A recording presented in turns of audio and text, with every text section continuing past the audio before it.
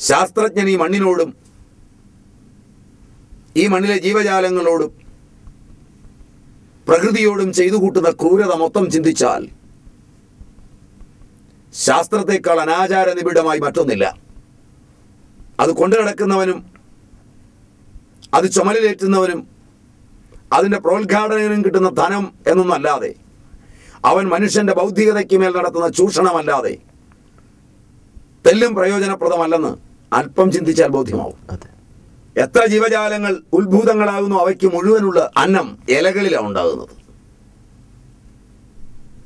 അന്നം പൂഴ്ത്തിവെച്ച് ദാരിദ്ര്യമുണ്ടാക്കി അതിന്റെ വിതരണ നിയമങ്ങളും അതിന്റെ കച്ചവടവും രൂപാന്തരപ്പെടുത്തി ഇന്ന് അന്നം സുലഭമാണെന്നും അന്ന് അന്നം സുലഭമല്ലെന്നും തെറ്റിദ്ധരിപ്പിക്കുമ്പോൾ വിതരണ നിയമങ്ങളിൽ നിന്ന് അന്നം ഉൽപ്പാദിപ്പിക്കപ്പെടുന്നില്ല. ഇല്ല. അന്നം ഉൽപ്പാദിപ്പിക്കുന്ന ഏക കലവറ ഇലകളാണ്. അവയുടെ എണ്ണം ഇന്ന് കുറയുകയാണ് ചെയ്തത്. ശാസ്ത്ര സാങ്കേതിക വിദ്യകളുടെ വളവളപ്പിൽ ശാസ്ത്രഗർത്തങ്ങൾ ഉണ്ടാക്കി മാനവന്റെ ജീവിതം മുഴുവൻ ദുസ്സഹമാക്കുകയല്ല സസ്യജാലങ്ങളുടെയും ജന്തുജാലങ്ങളുടെയും ജീവിതത്തെ ദുസ്സഹമാക്കുമാർ കെട്ടിടങ്ങൾ പണിതപ്പോൾ കേരളത്തിൽ ഉയർന്നു നിൽക്കുന്ന വ്യവസായ സ്ഥാപനങ്ങളും ശാസ്ത്ര സാങ്കേതിക സ്ഥാപനങ്ങളും വിദ്യാലയങ്ങളും കോളേജുകളും ബേക്കറികളും ഹോട്ടലുകളും പാർപ്പിടങ്ങളും അന്നം ഉൽപ്പാദിപ്പിക്കാൻ സമർത്ഥമല്ല.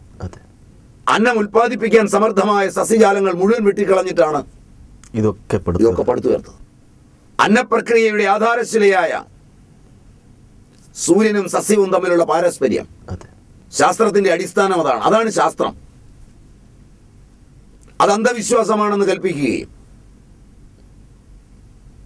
കാവുകളും കാടുകളും പൂർണമായി നശിപ്പിക്കുകയും സിമെന്റിൽ പണിതീർത്ത മനോഹര സൗധങ്ങൾ ഉയരുകയും ചെയ്ത് മാനവ ജീവിതത്തെ ആനന്ദപൂർണമാക്കാമെന്ന് അവയ്ക്കകത്തിരുന്ന് കണ്ടുപിടിക്കുമ്പോൾ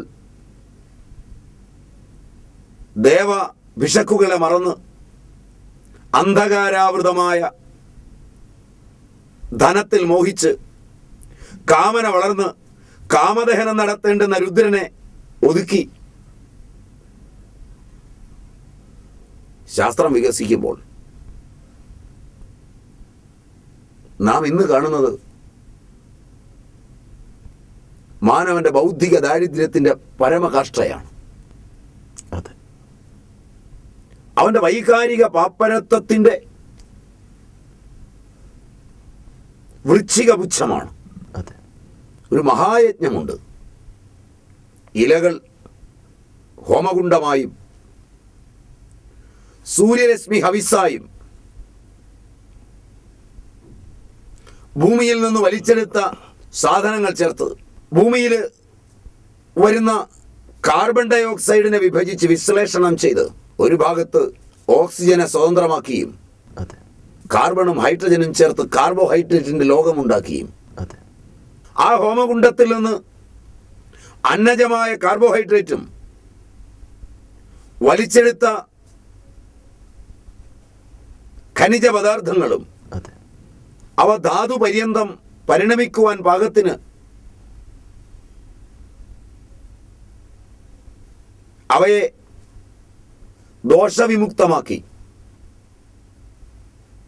അവയിൽ അടങ്ങിയിരിക്കുന്ന പ്രാകൃത ദോഷങ്ങളെ കളഞ്ഞ് അവയെ അരിച്ച് ഫിൽറ്റർ ചെയ്ത് അവയെ പൊടിച്ച് അവയെ അരച്ച് അവയെ ലയിപ്പിച്ച് ലയിപ്പിക്കാവുന്നവയിൽ ലയിപ്പിച്ച് അവയിൽ അടങ്ങിയിരിക്കുന്ന ഉപ്പും അതുപോലുള്ള ലവണങ്ങളും അവയിൽ അടങ്ങിയിരിക്കുന്ന മിനറലുകളും ജീവജാലങ്ങൾക്ക് ആഹാര പാകമായി ഇലകളിൽ തന്നെയോ തണ്ടുകളിലോ കിഴങ്ങുകളിലോ വേരുകളിലോ പൂക്കളിലോ കായ്കളിലോ വെച്ച് ലോകത്തിന് അന്നമായും ലോകത്തിന് പ്രാണനായും തിരുന്ന ബൃഹത്തായ ഒരു യജ്ഞസങ്കല്പമുണ്ട്. പത്ത് പുത്രൻ ജനിക്കുന്ന ഭാര്യായോനിയിലെ യജ്ഞസങ്കല്പത്തിൽ അർപ്പിക്കുന്ന ബീജം പുത്രനായി വരുന്നത് പത്ത് പ്രാവശ്യം ഉണ്ടാകുന്ന ആ യജ്ഞം നീ ചെയ്യുന്നതിനേക്കാൾ ശ്രേഷ്ഠം ഒരു വിത്തിട്ട് ഒരു മരമുണ്ടാകുന്നതാണ്.